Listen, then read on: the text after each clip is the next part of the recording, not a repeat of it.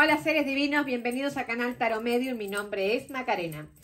Vamos a comenzar una lectura nueva para ti, para el día de hoy, para un mensaje. ¿Te vas, Murci? Quédate quietito ahí, a ver. Quédate ahí. Ahí, dormí ahí. Va, campana. A ver si Murci se queda. ¿Quedas, hijo? Va, campana.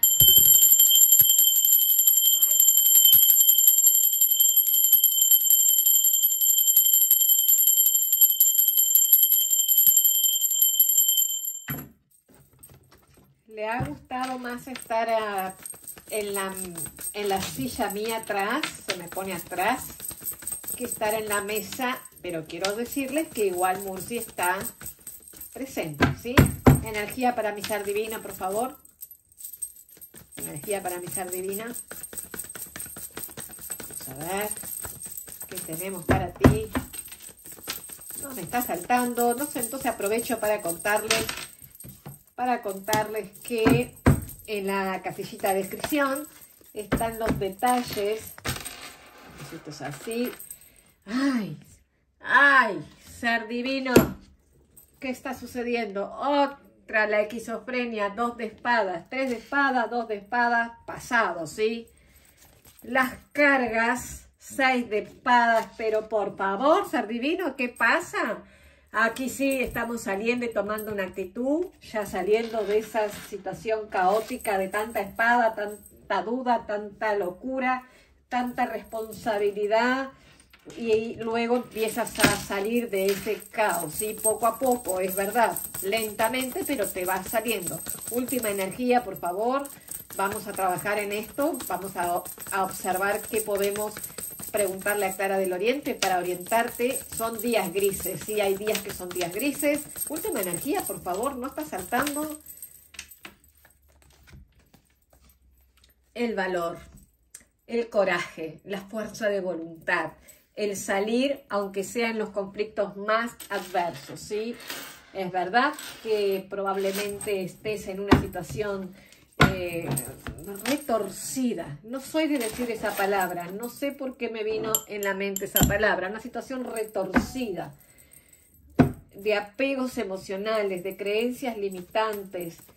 Vamos a preguntar por qué ese 3 de espada y ese 2 de espada, qué está pasando con mi ser divino en estos momentos, en este contexto, en alguna situación de tu vida. El, el 3 de espada significa alguien que te lastimó bastante, ¿sí? Puede ser en cualquier ámbito de tu vida, alguien que te hirió. ¡Opa! Bueno, ok, agarro, si es así. Reina de espadas, la templanza, dos de oros, la rueda de la fortuna, perfecto. 9 de pentáculo. Esta carta la amo porque significa la independencia. Tu vida da un giro hacia la independencia. Sigue con la torre, el mundo, reina de bastos, reina de copas y el colgado. Madre mía. Bravo. Aquí hay tanto, pero tanto para hablar que ni te explico. Bueno, como veníamos diciendo, tú estás en una situación retorcida, que eso se rompió de un día a la mañana, se quebró la torre, se rompe, hay un cierre de ciclo, tú entraste en muchas dudas en esos momentos, pero cerraste ese ciclo. Puede ser con una persona, un amor romántico o con alguien de tu vida. Sí, acá hubo mucho dolor, literal, una noche oscura, la, la torre, sí, la torre es una noche oscura, un dolor muy en el alma, profundo, pero con el mundo tú saliste victoriosa o victorioso de esta situación, que para eso estamos. El problema radica en que luego de esa situación tú continuaste como cargando, ¿sí? Continuaste cargando o responsabilidades o culpas o una sensación de no cumplir las expectativas del otro o que el otro no cumple tus expectativas, comenzaste a dudar, ¿sí? Estás sobre un, ¿sí? Que es esta energía, habla de la duda, habla del conflicto interno, ¿sí? Ese diálogo interior que tú tienes como que acusándote o hay alguien que te acusa, también puede ser. Y te conviertes en esta reina de bastos. Es una reina, es una energía de una persona que toma decisiones.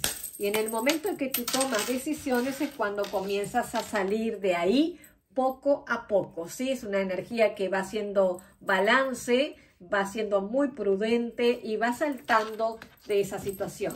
Y aquí viene lo bonito. En esa, con esa energía es que te da un giro de destino y una reina de copas. Acá puede significar para los solteros un amor nuevo, un amor correspondido, eh, un giro totalmente en tu vida en cuanto a lo económico, pero más que nada, no estoy hablando de lo económico, más que nada en las emociones, y es como que tus emociones de este estrés y esta locura acá se balancean, se equilibran, se establecen, hay tranquilidad, llega a estar un momento de paz. Y en ese momento de paz es cuando todo depende de tu fuerza de voluntad, de ahí depende, ¿sí?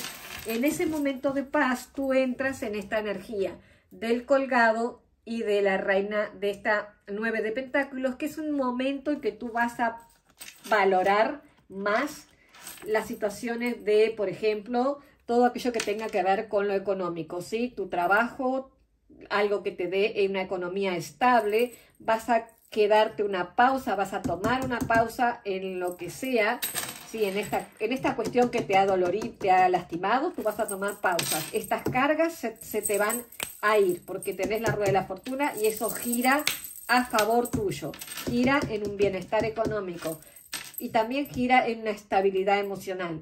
Pero te vas a quedar un buen tiempo a la espera y descansando, diría yo, ¿sí? Porque acá, acá está. Vamos a preguntar por el colgado. El colgado, vamos a preguntar sobre el colgado. ¡Opa! Mira. Un viaje. Estás pensando en hacer un viaje, tomarte un tiempo. Estás pensando en tu casa en la llave de, un nueva, de una nueva vida. Las llaves abren situaciones nuevas en la vida, ¿sí? Por eso es la rueda de la fortuna. La rueda de la fortuna es un cambio, un giro, en este caso positivo, porque el giro puede ser negativo o positivo. En este caso, si ustedes están chateando o conociendo a alguien de larga distancia, que puede ser esta reina de basto, ¿sí? acá hay un encuentro, acá hay alguien que regresa o, viene del extranjero y viene hacia tu casa, literal, ¿sí? Vamos a preguntar para el amor.